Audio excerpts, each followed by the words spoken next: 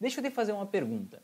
Tu dá duro, tu trabalha para ganhar dinheiro. De alguma maneira, tu te esforça para ganhar dinheiro. Só que quando chega o momento de tu ganhar dinheiro estando dormindo, poxa, tu vai deixar teu dinheiro render negativo? Porque se tu estiver investindo na poupança, agora é exatamente isso que está acontecendo. E se tu conhece, poxa, eu não estou investindo na poupança, mas se tu conhece alguém que investe na poupança, hoje essa pessoa está tendo uma rentabilidade negativa.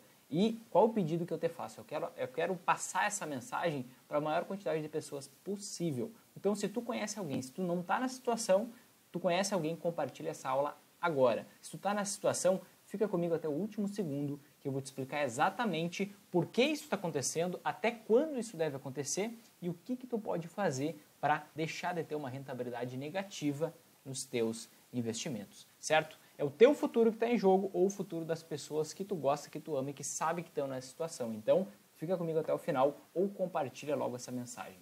Por quê? Porque eu, eu vou te passar justamente o passo a passo que tu precisa executar hoje, certo? E se tu ainda não me conhece, muito prazer, eu sou o Vinícius Marinho, sou criador do programa Investidor Sempre Alta, criador do método Investidor Sempre Alta e também do programa Investidor Sempre Alta. E meu objetivo com isso é ajudar pessoas comuns a investirem o seu dinheiro e terem ganhos de três dígitos, ou seja, mais de 100%, exatamente, mais que dobrar o seu dinheiro sem correr o risco de perder dinheiro no meio do caminho. Uma exigência básica para mim e para as pessoas que me acompanham. E aí, quando eu falo isso, tem muita gente que me pergunta: bom, será que isso é possível? Sim, isso é possível com o método, sem esqueminha. Então, tu tem que participar das aulas aqui, toda terça e quinta-feira, 19 horas, tem aula aqui, tu vai conseguir aprender o passo a passo. Hoje eu vou te dar uma boa visão disso. Agora, Vinícius, tu dá recomendações de investimento? Não, não dou recomendações. Eu prezo pela tua liberdade, não pela tua escravidão. Poxa, tu entregar o teu futuro para alguém é, eu acho coisa demais. Então, eu prezo pela tua liberdade ao investir, tu pode fazer isso de forma fácil, simples, sem ansiedade, sem medo, sem risco nem de perder dinheiro.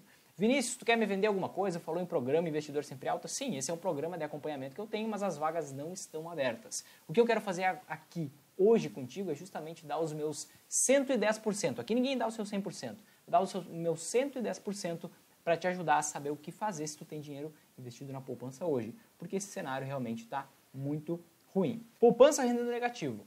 Eu vou te ensinar exatamente o que fazer para deixar de perder dinheiro investindo e para tu conseguir dar o primeiro passo logo com urgência para tu deixar, para tu estancar essa, esse vazamento que está tendo hoje, certo? E aí vou te indicar os próximos passos para tu seguir, certo? Por que, que é tão importante a gente falar sobre isso, né? O que acontece?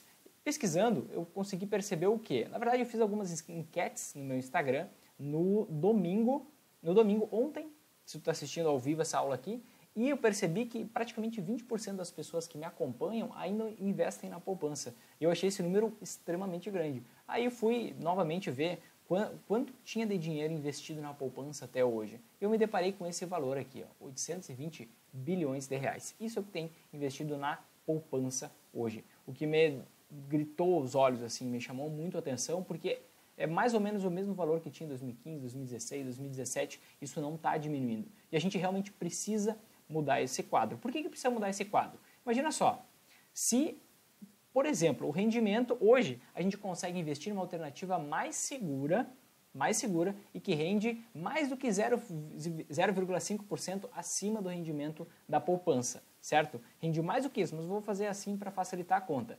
Se eu tivesse esses 820 bilhões tendo uma rentabilidade adicional ínfima de 0,5%, isso seria mais 4 bilhões de reais no bolso das pessoas. E aí a gente tanto trabalha tanto para conseguir dinheiro, está sempre sendo ativo nesse processo, né? Faz uma coisa para conseguir dinheiro. E quando chega o momento de a gente ganhar dinheiro dormindo, muitas vezes a gente não faz da melhor maneira. Então eu justamente venho aqui para te passar essa mensagem, talvez não seja para ti, talvez seja para alguém que tu conheça, mas não deixa essa mensagem para aqui, porque olha, isso aqui é só indo para isso dando meio passo. Isso aqui é com 5 minutos de aplicação, a gente, as pessoas já conseguiriam ter 4 bilhões a mais na conta. Só que o que acontece? Né?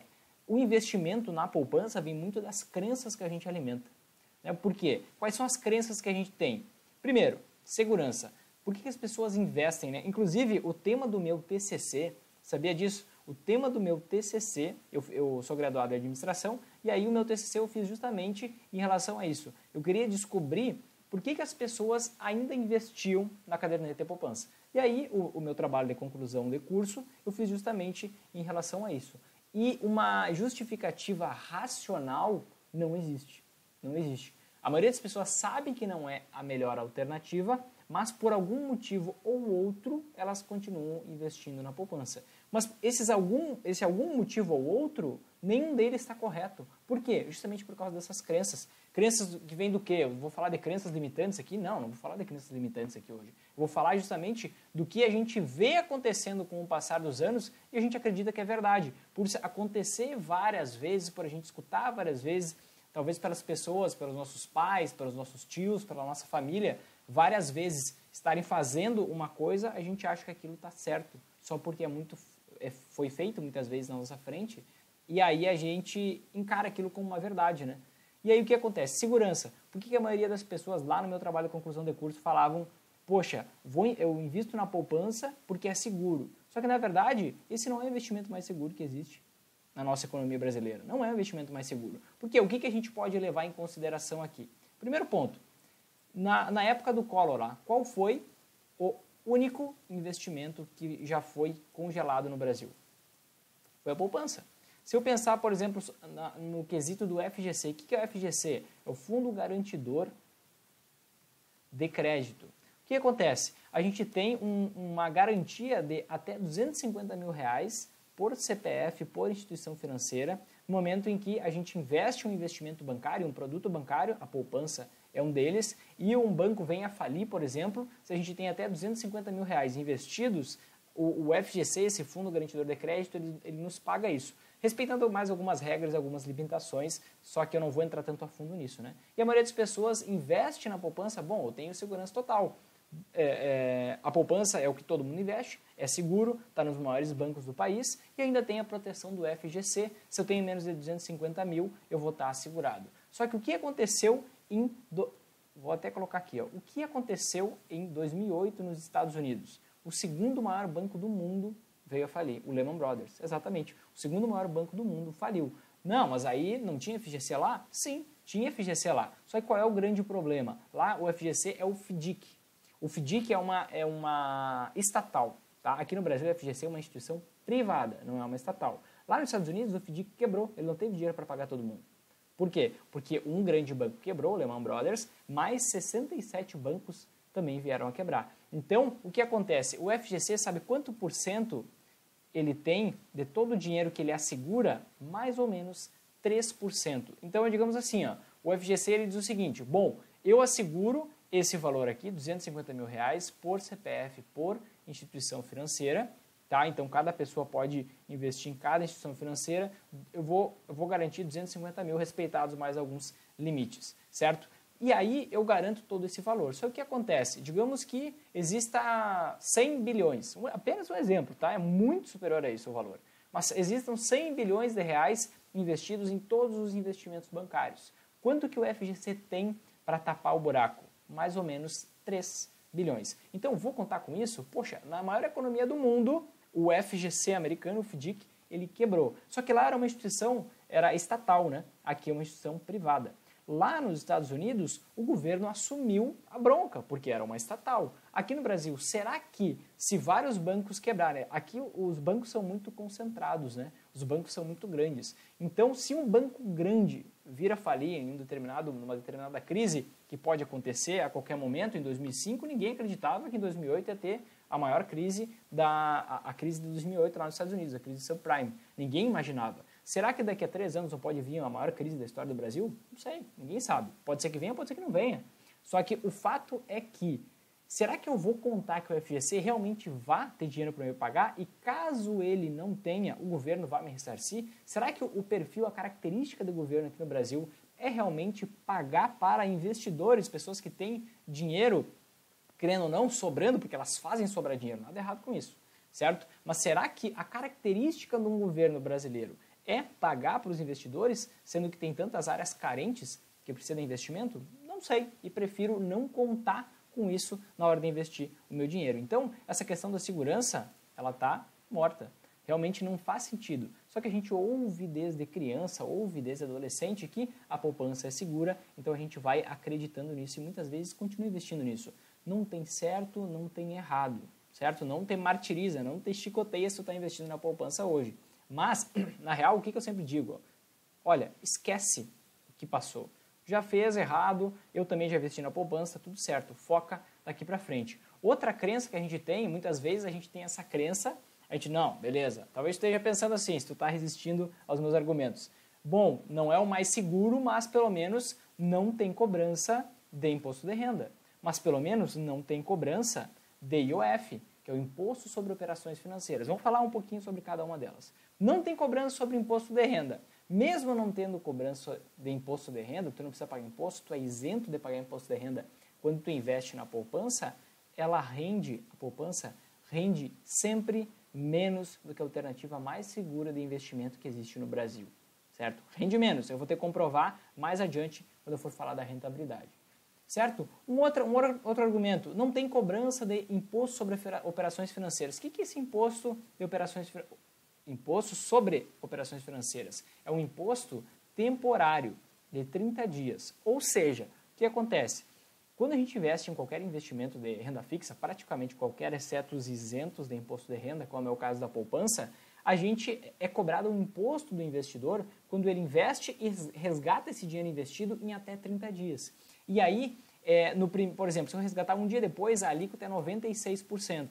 Ou seja, tive um real de lucro, 96% tem que pagar de imposto e 4 centavos vai ser o meu lucro final. E aí, com o tempo, vai diminuindo esse percentual e quando fecha 30 dias, esse imposto zera, certo? Só que o que acontece? Realmente, a poupança ela não tem cobrança da EOF, mas sabe por quê? Justamente por causa disso. O rendimento da poupança é mensal. Ou seja, se eu pegar um bilhão de reais e investir na poupança por 29 dias, não vai render nada.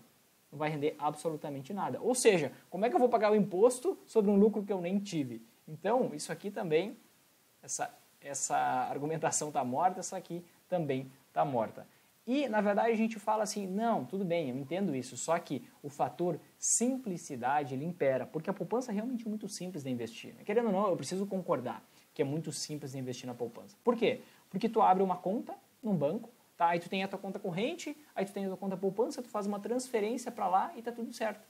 Teu dinheiro está lá investido. No momento que tu quiser, tu vai lá e saca o teu dinheiro. Só que hoje, hoje, 23 de dezembro de 2019, tu investiu teu dinheiro por meio de uma corretora de valores e garantiu uma rentabilidade maior do que 0,5% com maior segurança investindo exatamente essa mesma coisa só vai ter que fazer uma transferência da tua conta bancária para uma conta na tua corretora de valores, na, na que tu escolher para utilizar, tá? E aí lá tu vai ter que clicar talvez uns três, vai ter que dar talvez uns três cliques, que pode ser com computador ou pode ser com celular, e tu já vai fazer um investimento mais seguro e que rende mais e que tem mais outras vantagens que eu vou te mostrar daqui para frente, certo? Então o fator simplicidade é um argumento que, ok, está correto, mas existem alternativas mais seguras, mais rentáveis que apresentam a mesma simplicidade, certo? Então, para mim também isso aqui está morto, né? O que, que eu entendo que faz ainda as pessoas investirem na poupança? Uma paradinha chamada de hábito. E o poder do hábito é muito forte, né? Porque quando a gente repete várias vezes, o que, que eu falei lá no início, né? Eu falei exatamente que a maioria das pessoas investe porque viu seus pais investir, viu seus tios investir, todo mundo fala que é seguro, que é simples, fala vários argumentos e isso se instala na nossa cabeça. Por quê? Aquilo que eu vi várias vezes acontecendo, para mim é correto. Então, para mim, aquilo é uma verdade, certo? Tanta gente, pensa bem, quem, quem por exemplo, é, defende a esquerda, estou falando de política, defende a esquerda e quem defende a direita. Cada uma, um esquerdista e um direitista, não sei se isso existe, é, ele tem para si uma verdade que é totalmente diferente da do outro. Então, isso vem por causa do hábito. Só que pra, chegou um, um momento diferente na história do Brasil. Chegou o um momento em que, além de estar tá rendendo pouco, como sempre foi o rendimento da poupança, está rendendo negativo. E se tu está investindo hoje na poupança, tu está perdendo dinheiro e eu vou te mostrar exatamente agora como que, tu, como que isso acontece, por que, que isso acontece, certo? Então, vem comigo que eu vou te explicar justamente isso. Vamos lá. Por que eu vou separar em alguns blocos aqui a nossa aula de hoje, tá? Então, primeiro, por que isso está acontecendo? Está acontecendo. Deixa eu deixar só aqui. Ok, por que, que isso está acontecendo? Vamos entender então como que funciona o rendimento da poupança. Vamos lá, até 3 de maio, para investimentos feitos até 3 de maio de 2012 e após 3 de maio de 2012. Então aqui é a poupança antiga e aqui é a poupança nova. Vamos lá, como é que acontece? Até 3 de maio de 2012, o que, que acontecia? O rendimento da poupança era 0,5% ao mês mais a TR, que é uma taxinha referencial, que é uma taxinha que, quando a taxa Selic, a nossa taxa básica de juros, chega lá em uns 14%, essa TR é mais ou menos aí 2%. Ela aumenta ou cai conforme a taxa Selic. Quando a taxa Selic chega nos 10% ao ano mais ou menos, essa TR vem para casa do 0% e já não vale mais nada. Hoje, no momento que eu estou gravando essa aula, a nossa taxa Selic está em 4,5% ao ano. Então, com certeza, a TR vale zero. Então, uma pessoa que, é, tem, que investiu na poupança até 3 de maio de 2012 está tendo uma rentabilidade de mais ou menos 6% ao ano, certo? Uma pessoa que fez aportes até esse momento está tendo uma rentabilidade que não é negativa hoje. Mas quem investiu um tostão sequer com a regra nova da poupança, ou seja, fez investimentos a partir de 3 de maio de 2012, como que funciona a remuneração, o rendimento da poupança. Se a taxa Selic está maior que 8,5% ao ano, que não é o nosso caso aqui, o rendimento é de 6% ao ano, é o mesmo da, da regra da poupança antiga. 6% ao ano mais a TR, tá? Se a taxa Selic está menor que 8,5% ao ano, que é o nosso caso hoje, a taxa Selic está em 4,5% ao ano, o rendimento é de 70% da taxa Selic.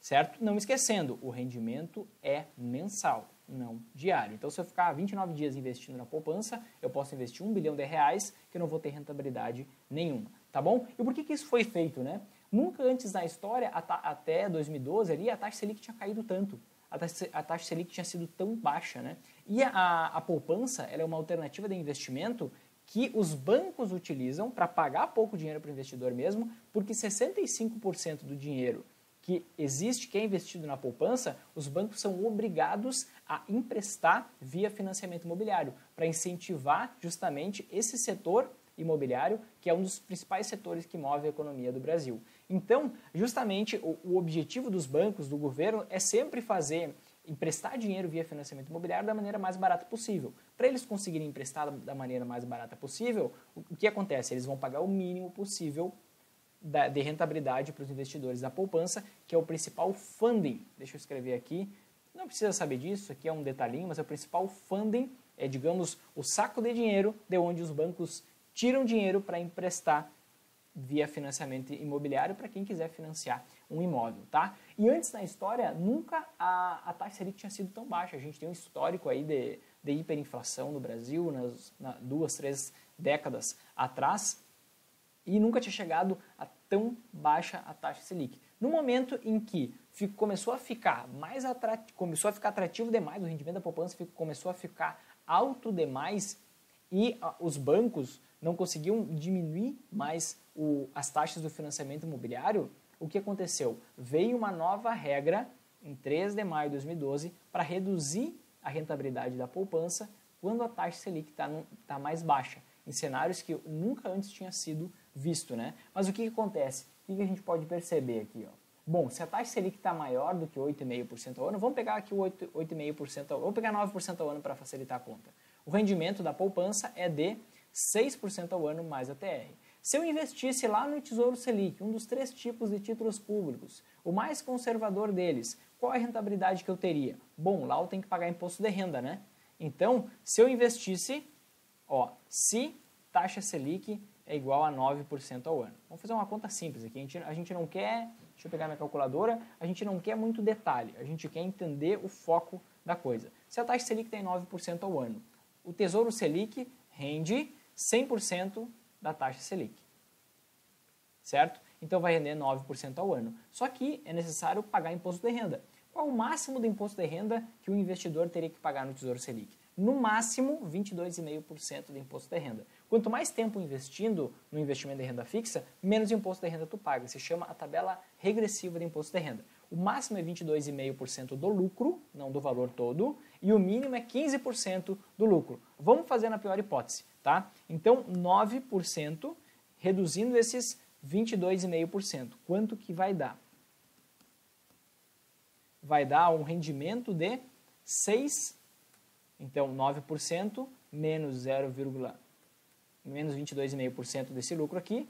Quanto que vai ser a rentabilidade real? É de 6,975%. Então, quase 7%. Na poupança eu teria quanto? 6% ao ano mais a TR, que nesse cenário aqui muito provavelmente seria zero. Então, a poupança novamente rende abaixo. Por isso que eu digo que sempre rende abaixo da alternativa mais segura do Brasil de investimento, que se chama o próprio Tesouro Selic, um dos três tipos de títulos públicos. Aí, o que, que acontece? Quando a taxa Selic chega em 8,5% ao ano, esse negócio empata. O rendimento do Tesouro Selic da poupança empata. Então, quando chegou esse cenário no Brasil pela primeira vez, lá em 2012, o que, que eles fizeram? Bom, se a taxa Selic tiver menor do que 8,5% ao ano, a gente vai ter que reduzir o rendimento da poupança, senão a gente vai ter um problema. E aí o que acontece? Quando a taxa Selic está menor do que 8,5%, o rendimento agora é de 70% da taxa Selic. Quanto, vamos relembrar, quanto que rende o Tesouro Selic? Ó, rende 100% da taxa Selic, certo? Beleza. Se eu tenho que pagar no máximo 22,5% de imposto de renda, quanto que vai render de forma líquida? Esse aqui é o rendimento bruto, tá? Quanto que vai render de forma líquida, ou seja, descontando o imposto de renda? O que realmente cai no bolso do investidor? Vai ser 100% menos 22,5% no máximo, tá? Se eu estivesse investindo por mais de dois anos, eu ia pagar só 15%. Mas vamos fazer na pior hipótese. Então, Quanto que é o rendimento, o mínimo rendimento líquido o investidor pode ter, por exemplo, no Tesouro Selic? É 100 menos 22,5. Então, é de 77,5% da taxa Selic. Quanto que a poupança rende? 70% da taxa Selic. Então, sob aspecto nenhum, o rendimento da poupança vai ser melhor do que esse. É essa aqui que é a alternativa mais segura de investimento que existe no Brasil hoje. Isso por quê? Porque o Tesouro Selic nada mais é do que um empréstimo que a gente faz para um governo. Quando eu invisto na poupança, eu estou emprestando dinheiro para um banco. O banco, o que, que o banco vai fazer? Por que, que o banco quer dinheiro emprestado? Porque ele quer dinheiro para emprestar para os outros, justamente, cobrando uma taxa maior. Então, qual é a jogada do banco? E nada errado com isso. Esse é o modelo do negócio do banco. Né? O banco ele capta dinheiro, ele pega dinheiro emprestado com investidores e paga aqui 6% ao ano. Aí o que, que ele faz? Ele pega esse dinheiro e empresta para quem precisa de empréstimo cobrando aí 30% ao ano. Para quem quer financiamento, ele vai cobrar 9% ao ano, 8% ao ano, isso depende do estágio, depende de quanto que está a taxa Selic. Ele pega e empresta com cheque especial cobrando 300% ao ano. Essa diferença de taxa do quanto ele paga para o investidor e do quanto ele cobra de quem quer pegar um empréstimo, é assim que o banco ganha dinheiro, certo? Por isso que ele pega dinheiro emprestado. E o Tesouro Selic nada mais é do que uma maneira da gente emprestar dinheiro para o governo. Então, eu empresto dinheiro para o governo e o governo me paga essa taxa de rentabilidade aqui. Só que eu posso fazer esse empréstimo, isso é investimento em renda fixa, é um empréstimo que a gente faz para alguém. Eu posso emprestar dinheiro para bancos, eu posso emprestar dinheiro para empresas, que aí são debêntures, crise, CRAS, os investimentos, ou eu posso emprestar dinheiro para o governo, certo? E aí, bancos e empresas podem quebrar, um governo não quebra, ele pode imprimir dinheiro. Até 1971 existia o padrão ouro, a quantidade de dinheiro que tinha em circulação numa economia era a quantidade de ouro que um país tinha. Só que isso não existe mais. Desde, desde 71, o nosso dinheiro, ele é o lastro dele não é no ouro, é na confiança. Simplesmente isso.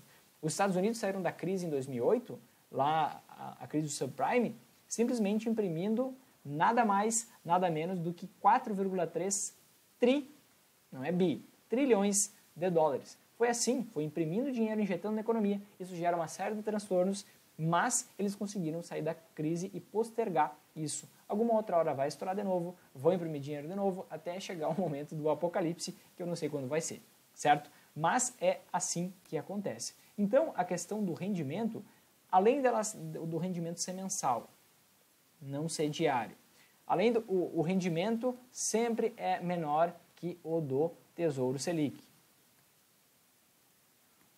A alternativa é menos segura, justamente por causa de, todo, de, de tudo isso, né? Eu estou investindo meu dinheiro, estou emprestando para um banco. O banco pode quebrar, o FGC pode não ter dinheiro, então meu risco é maior do que eu emprestar para o governo por meio do Tesouro Selic. Então a alternativa é menos segura do que o próprio Tesouro Selic. E por que, que isso está acontecendo hoje? Né? Por que, que a, a gente entendeu a rentabilidade, como é que funciona? Mas vamos enxergar o cenário de hoje. Quanto que está a taxa Selic hoje? Taxa Selic hoje, no momento que eu estou gravando essa aula, certo? Está igual a 4,5% ao ano. 4,5% ao ano. Quanto que rende a poupança quando a taxa Selic está abaixo de 8,5% ao ano? Rende 70% da Selic. Então, o rendimento da poupança, poupança é igual a 4,5% vezes 0,7, que é os 70%. Quando que eu vou chegar nisso? Vamos fazer a conta. 4,5% vezes 0,7, 3,15%. Esse é o rendimento anual da poupança com a taxa Selic a 4,5%. Então, isso aqui é o que rende ao ano a poupança. Só que o que acontece? A gente tem que entender também não só a rentabilidade da poupança, a gente tem que entender uma, uma coisinha chamada inflação. O que, que é isso? O que, que significa inflação? Vamos lá. Hoje, tu vai no mercado, com 100 reais tu compra uma certa quantidade de coisas. Mas tu concorda comigo que 10 anos atrás, tu ia no mercado com 100 reais e tu comprava muito mais coisas, muito mais coisas mesmo? Isso por quê? Porque tudo que a gente consome no dia a dia, seja um produto, seja um serviço, vai subindo de preço com o passar do tempo. Isso é totalmente normal, né? Isso é o que se chama de inflação. É justamente a inflação é uma medição, digamos assim, do aumento ou da diminuição, aí vai ser uma deflação, tá? Então é melhor eu dizer assim, ó, medição da variação dos preços de tudo que consumimos no dia a dia. E aí o que, que acontece? O, o, Banco Central ele trabalha, como que ele define essa taxa Selic? Ó? Tu, tu vê que está tudo interligado, todas as coisas elas se ligam, elas se conectam. Como que o Banco Central, ele a cada 45 dias, ele define qual é a taxa Selic para os próximos 45 dias? É justamente com base na inflação. Então o Banco Central ele tem metas de inflação. E qual a meta de inflação para 2020? É de 4% ao ano. Bom, qual está sendo o rendimento da poupança? 3,15% ao ano. Isso aqui tu consegue perceber o quê? Basicamente tudo que a gente consome no dia a dia vai subir, o Banco Central vai fazer de tudo para que suba para 4% ao ano. Não mais do que isso, não menos do que isso. Ele que atingir essa meta, certo? Então, o que eu compro hoje com 100 reais, ano que vem vai custar justamente 104 reais. Por quê? Subiu 4%. Só que se eu investir 100 reais hoje, eu vou chegar a R$ 103,15. Ou seja, estou tendo uma rentabilidade real negativa. É isso que importa para o investidor. Anota aí, o que importa para o investidor é o rendimento real, o rendimento acima da inflação. Qualquer pessoa que te disser, poxa, o que importa é o quanto rende, é o rendimento nominal, rend... não, o que importa é o rendimento acima da inflação. Isso aqui é o que te enriquece. Né? Se, poxa, lá em 2015, quanto que foi o rendimento da poupança? Mais ou menos 8% durante o ano. Quanto que foi a inflação?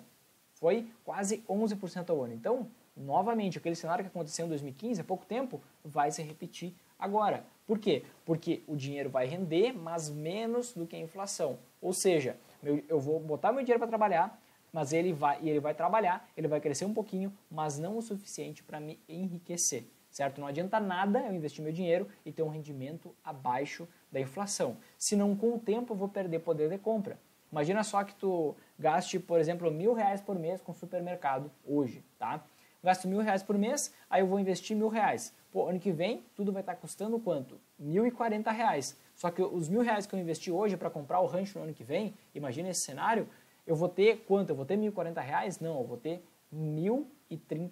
cinquenta centavos, certo? Então o teu dinheiro ele tem que sempre ultrapassar a inflação. Isso é o que realmente mede o quanto está enriquecendo, certo? Esquece quanto é o rendimento nominal. Foca no rendimento real, rendimento acima da inflação. E qual é o gap que a gente vai ver? Rendimento no, é, real da poupança para 2020. Conforme essa conta aqui, a gente consegue perceber que vai ser de menos 0,85% ao ano, certo? para 2020. Né? Não vou colocar o ano, porque a gente está focando em 2020, certo? Então, é justamente por isso que tu precisa correr logo da poupança. Se tu está investindo hoje na poupança, tu precisa sair fora, porque o teu dinheiro está diminuindo. Ele vai começar a se reduzir devagarinho, mas cada vez isso vai aumentar mais. E a gente acha que, nossa, isso é impossível. Não, esse cara tá, tá falando um negócio que não faz sentido. Gente, isso acontece desde 2014 na Europa. E lá é o rendimento nominal, não é nem o rendimento real. Lá é o rendimento nominal. Isso está acontecendo em toda a zona do euro. E no Japão e na zona do euro desde 2014. O, todo o dinheiro investido está rendendo negativo, certo? É um cenário novo no mundo, é um cenário novo nas economias, mas é justamente o que está acontecendo por causa da tecnologia, por causa de, da, da própria aumento da expectativa de vida, as pessoas estão poupando mais. Tem várias, tem várias, por causa dos próprios bancos centrais injetando muito dinheiro nas economias, são várias coisas que influenciam nisso. Com detalhes eu explico isso na live número 28, se não me falha a memória, que é a primeira live que eu fiz lá em setembro, quando isso nem estava acontecendo ainda, foi em setembro de 2019, quando eu mostrei exatamente essa questão de que o Brasil enfrentaria juros negativos. Eu até vou confirmar. Live número 31, renda fixa rendendo negativo no Brasil, isso está chegando. Isso foi lá em setembro que eu fiz essa live aqui, já alertando que isso iria acontecer. Eu mostro como isso está acontecendo na zona do euro há bastante tempo, no Japão há bastante tempo. Então, para tu entender todo esse cenário, esse cenário mais global, se tu quiser, tiver interesse nisso, vai lá e assiste essa live número 31, certo? Depois, quem estiver assistindo a gravação, eu vou deixar aqui embaixo no box de descrição do vídeo para tu assistir, certo? Então, esse é o principal ponto de atenção nesse momento. Tu já sabe o que é que está acontecendo hoje e por que, que tu está perdendo dinheiro se tu está investindo na poupança hoje. Vinícius, eu não estou investindo na poupança, mas achei legal o tema e estou assistindo essa live. Compartilha com quem tu conhece e tem dinheiro investido na poupança. Não guarda isso só contigo, isso é muito importante, poxa. Isso é, é o futuro das pessoas que cada vez está sendo, infelizmente, corroído com o tempo se a gente não fizer nada, certo? E aí eu te pergunto de novo, tu dá duro para trabalhar, se tu está investindo na poupança hoje, tu dá duro para trabalhar para ganhar dinheiro e na hora de ganhar dinheiro dormindo, tu vai, poxa, deixar rendimento negativo? Não faz sentido. Então, o que eu quero te, te alertar agora? Até quando isso deve acontecer? Ó, mais ou menos, na minha live 44, tu vai entender sobre os ciclos econômicos, certo? E mais ou menos a gente consegue perceber que o, o que, que, são ciclos econômicos? Todo, toda economia é, é, natural, é normal que existam momentos de crescimento e momentos de recessão, de crise. Momentos de crescimento, momentos de recessão. E aí, esses ciclos demoram, geralmente tem a duração de sete anos. Geralmente. Então, o primeiro ano que o Brasil cresceu depois da crise foi 2017. 2017, 18, 19, então pode ser que mais quatro anos, isso é uma média, tá, gente? A gente não tem como prever o futuro. Pode ser que por mais quatro anos a taxa Selic fique extremamente baixa, né? Porque nos momentos de crise, geralmente a taxa Selic, Selic sobe. E aí, esse cenário que ele pode mudar, tá? Mas, o que, que é, isso deve acontecer? Por pelo menos, creio que, não sei prever o futuro, certo? Ninguém sabe, quem estiver prevendo o futuro para ti é um grande charlatão. Creio que pelo menos por mais quatro anos isso possa continuar acontecendo. Então, poxa, não, não, não negligencia isso. Tu pode conseguir muito rentabilidade muito maior investindo teu dinheiro com o mesmo nível, com o maior nível de segurança da poupança, certo? Investindo o teu dinheiro com sabedoria. Poxa, não entrega quatro anos de rentabilidade negativa porque se tu por quatro anos investir mal o teu dinheiro, talvez tu consiga te aposentar 10 anos, 15 anos mais tarde. Por quê? Por causa dos juros compostos, por causa do tempo sendo aplicado nessa jogada. Então, tu negligenciar pouco tempo hoje vai fazer com que tu deixe de conseguir alcançar algum objetivo que tu tenha por, poxa, muitos anos, certo? Então, valoriza isso. Por pelo menos mais quatro anos, pode ser menos, pode ser mais, não sei. Mas o fato é que hoje está perdendo dinheiro, certo? E aí, qual, para onde que eu devo pular? Eu entendi, Vinícius, eu tenho que sair dessa, mas qual caminho eu devo seguir? Qual caminho eu devo seguir? Porque eu entendi que está tudo errado, que eu não posso investir na poupança, que isso não é o correto, eu tomei essa própria decisão, eu entendi a tua explicação, mas onde que eu vou? Para que lado eu vou?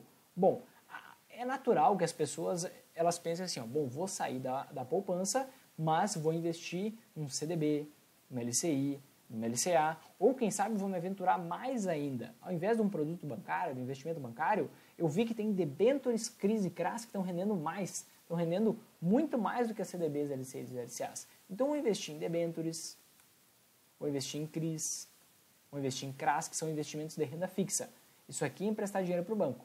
Isso aqui é emprestar dinheiro para empresas. Só que aí eu vou te convidar agora para tu assistir a live 37 para tu assistir a live 46. Na live 37 eu explico por que, que o investidor sempre em alta não investe em CDB, LCI, LCA ou qualquer outro tipo de produto bancário. Basicamente eu já te deixei um ponto bem claro de todos que eu mostro nessa live 37, que é a questão do FGC, que eu prefiro não confiar, certo? Porque quando eu estou investindo em renda fixa, eu tenho que entender que eu estou investindo reais para ganhar centavos. Eu não vou ter uma rentabilidade muito absurda, exceto em poucos momentos se eu usar alguma estratégia específica de investimento, certo? Mas eu estou investindo, via de regras, reais para ganhar centavos. Ou seja, se eu estou investindo um dinheiro para ganhar pouco, eu tenho que correr o menor risco possível. De forma que eu vai, se eu quiser investir com algum nível de risco, o que, eu vou fazer? Eu vou investir em algum investimento que vale a pena, que vai me dar uma rentabilidade muito superior, certo? Que eu realmente eu vai investir centavos, centavos para aí eu sim eu ganhar reais. Embora tu saiba que talvez sim, talvez não, não sei exatamente, mas que o investidor sempre em alta, ele zera o seu risco de perda porque ele combina investimentos e mantém um grande potencial de rentabilidade. Porque a minha missão é justamente essa, te ensinar a ter três dígitos de rentabilidade, ou seja, mais que 100%, sem correr o risco de perder dinheiro no meio do caminho, certo? Então, poxa, CDB, LCI, LCA, tá fora da minha alçada. Debentures, crise, CRAS, já investi em tudo isso, gente. Já investi em tudo isso. Eu conto nessas lives as minhas histórias, já tive muita dor de cabeça e não vale a pena. Então, qual a recomendação que eu tenho para te dar hoje? Tu precisa assistir. Primeiro, tu precisa planejar os teus investimentos. Tu precisa assistir isso, eu falo na live 40, gente. Na live 40 eu ensino como a gente planeja os investimentos. Que aí, poxa, eu planejando, porque não é assim, investe nisso, depois nisso, depois nisso, serve para todo mundo. Não, tu tem a tua própria vida.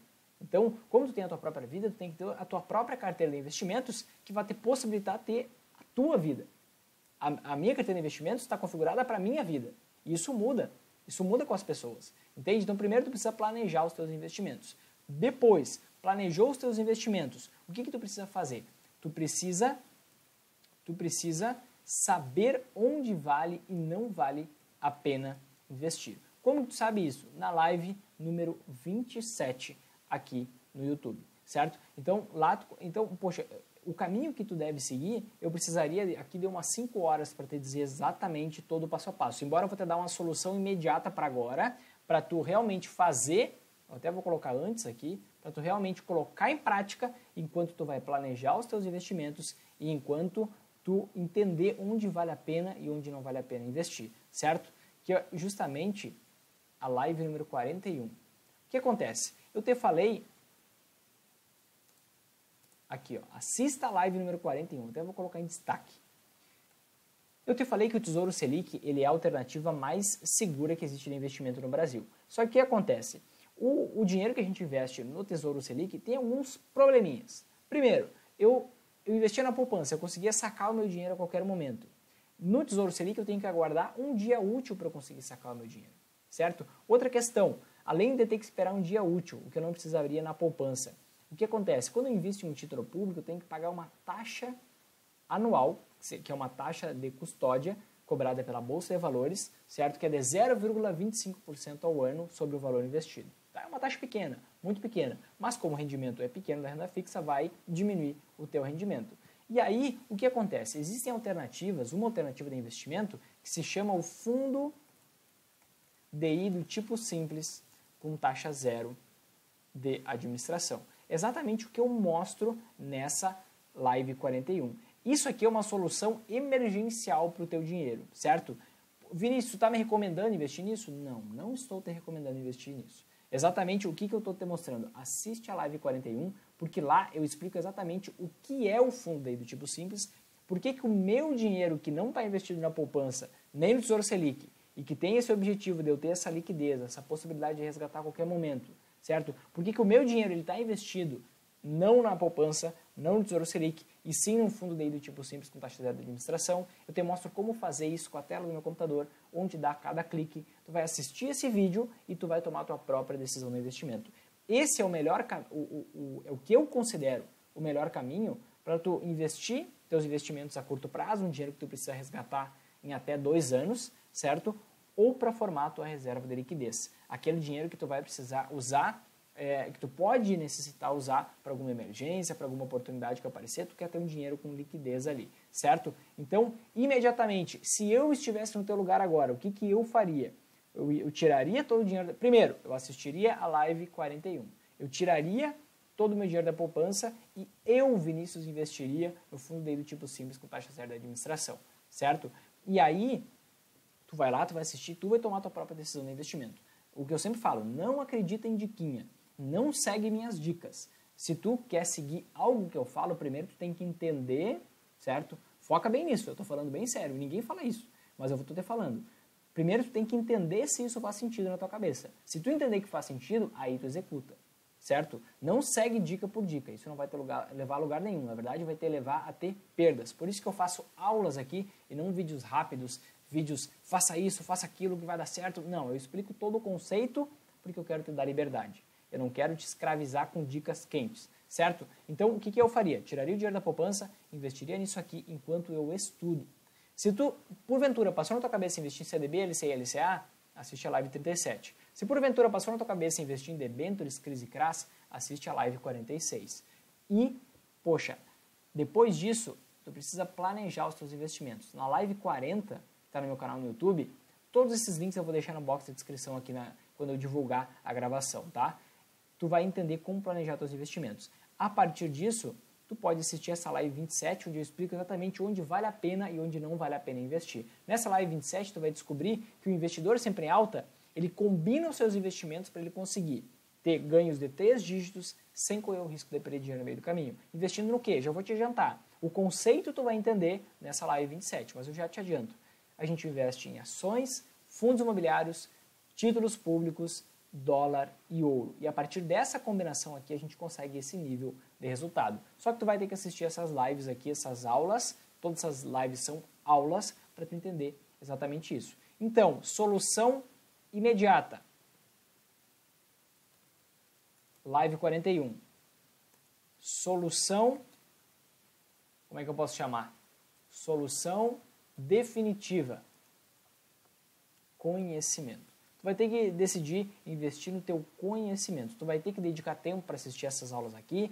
Eu te recomendo mais assistir a live 44, em que eu explico ciclos de mercado. Eu mostro como usar esses cinco investimentos que eu te falei aqui: ações, fundos imobiliários, dólar, ouro, títulos públicos, de forma a tu surfar esses ciclos de mercado, esses ciclos de crescimento, de recessão, de forma que tu consiga ganhar dinheiro tanto em alta quanto em baixa, tanto em momentos de crescimento quanto em momentos de crise, sem tu precisar saber exatamente se a gente está numa crise ou se a gente está num momento de crescimento, porque ninguém sabe. A gente sabe o que aconteceu para trás, mas o que vem amanhã a gente não sabe. Tudo pode mudar de uma hora para outra, certo? Mas a solução definitiva é tu investir no teu conhecimento. E é muito engraçado porque a maioria das pessoas, é, elas, poxa, a gente vê muita gente reclamando sobre a ah, previdência social, é uma sacanagem essa reforma da previdência poxa, a previdência mudou, a gente vai ter que continuar trabalhando pra caramba, papapá. Aí muitas pessoas reclamam, o SUS é ruim, a saúde é ruim. Eu entendo, realmente é ruim. A educação no Brasil é ruim, e a gente fica concentrando energia nisso, reclamando que é ruim. Os bancos são maus, eles pagam uma rentabilidade baixa na poupança. Só que, poxa, nenhuma dessas instituições, elas têm o dever de, justamente, determinar o meu sucesso ou o meu fracasso. Só eu posso fazer isso. Só eu preciso tomar decisões. Ou eu vou viver, eu vou focar energia em estar reclamando da previdência social, da saúde, da educação, dos bancos que cobram altas taxas de empréstimo, pagam um pouco para o investidor, ou eu vou concentrar minha energia em resolver esse problema. E como que eu vou resolver esse problema? Eu tenho que achar algum caminho, pra, eu tenho que seguir algum caminho. Eu tenho que, nesse caso aqui que a gente está falando, investimento, Poxa, adianta eu reclamar que a rentabilidade da, da poupança está negativa? Não, eu vou ter que buscar conhecimento, eu vou ter que entender como funciona. Somente eu sou responsável pelos meus resultados. E no momento em que a gente entende isso e coloca isso em prática, tudo muda. Eu passo de uma situação de vítima e mudo para uma situação de que eu vou buscar para resolver esse problema. Poxa, isso era dever de outra pessoa? Talvez seja. Só que eu ficar dizendo que é dever de outra pessoa não vai fazer eu melhorar meu resultado. Não vai mudar nada para mim. Então tu precisa investir no teu conhecimento. Eu te recomendo justamente, e eu creio muito na lei do dar e receber. Por isso que eu entrego tudo isso aqui, ó. Tudo, tudo que está no meu conteúdo, no meu programa de acompanhamento chamado Programa Investidor Sempre em Alta, eu entrego nas aulas de forma totalmente gratuita, porque eu acredito fielmente nisso. Eu quero entregar o máximo possível. A gente pode encontrar a solução. Qual o melhor caminho para tu seguir? Solução imediata é essa.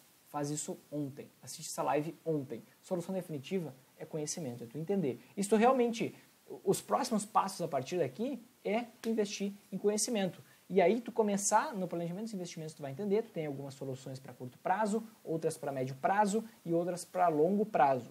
E aí tu vai investir conforme o prazo que tu tem. Eu explico todos os horizontes de tempo nessa live 40. E aí, a partir daí, tu vai ter que buscar um método de investimento para tu investir. O meu de investimento, meu, das minhas dezenas de alunos, justamente a gente se dedica em uma alternativa de investimento muito, com muita simplicidade, muita tranquilidade para investir.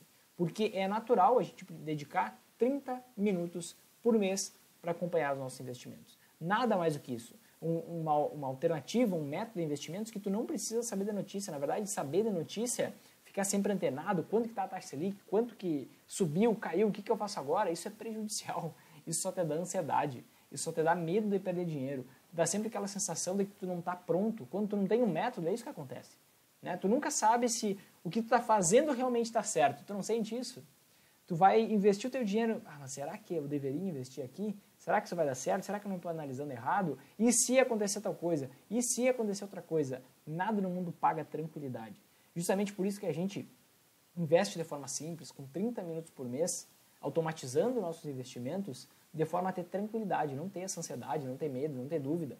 Tendo rentabilidades, por exemplo, hoje eu recebi um feedback de um aluno meu que ele conseguiu aí nos últimos meses uma rentabilidade de 250% e outra superior a 100%. E, e ele me comentou qual foi o, o investimento e hoje estava subindo mais 7%. Então, tudo isso sem, sem correr o risco de perder dinheiro. Claro, eu vou ter que deixar de ficar buscando qual o melhor investimento, qual aquela dica mágica.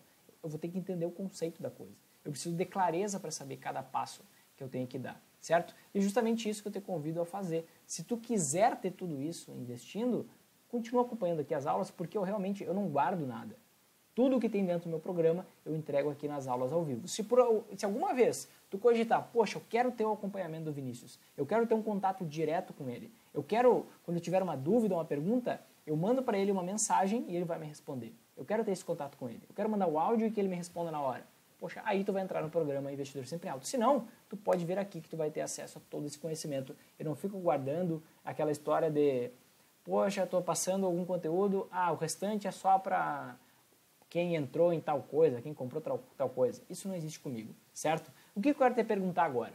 Tu aprendeu algo, então tu tem esse dever de casa, hein? assistir essa aula aqui e tomar tua própria decisão, depois começar uma jornada que não tem fim, jornada de conhecimento, certo? Beleza, então vamos lá. Pergunta que eu te faço agora, tu aprendeu algo novo nessa aula? Se tu aprendeu algo novo, compartilha comigo aqui nos comentários, deixa eu saber o que, que tu aprendeu de novo nessa aula aqui e o que, que tu vai mudar. Eu, eu, eu, gosto muito do comprometimento, né? Quando a gente se compromete, fica mais forte. O que, que tu vai mudar a partir de hoje nos teus investimentos? comenta aqui embaixo, coloca uma deadline, coloca um prazo. Vou parar de investir, vou sacar meu dinheiro da poupança em tal data e vou investir em tal coisa. Me conta aqui nos comentários que eu quero saber. Eu vou ficar muito feliz em participar disso. E me explica, me diz o que, que tu aprendeu de novo aqui nessa aula. vou ficar muito feliz em ler esse comentário e responder esse comentário para ti, certo? E se tu realmente curtiu, tu gostou dessa aula aqui, o que, que eu peço para tu fazer agora? Se tu estiver assistindo pelo YouTube, aqui embaixo tem um botãozão vermelho escrito inscrever-se. Clica nele, vai aparecer um sininho. Aí tu clica nesse sininho, mas não deixa de fazer isso, porque assim tu vai ser notificado, notificada de todas, todos os vídeos que eu postar. São pelo menos 10 vídeos por semana que eu divulgo no YouTube. Então faz isso agora. Clica aqui embaixo em inscrever-se e ativa o sininho. Além disso, aproveita e me acompanha pelo Telegram. Aqui embaixo, o primeiro link que tu vai ver aqui embaixo nesse box da descrição ou vai estar nos comentários é do nosso grupo Galera Sempre em Alta. É um grupo no Telegram, todo dia tem conteúdo novo, conteúdo exclusivo para esse grupo da Galera Sempre em Alta.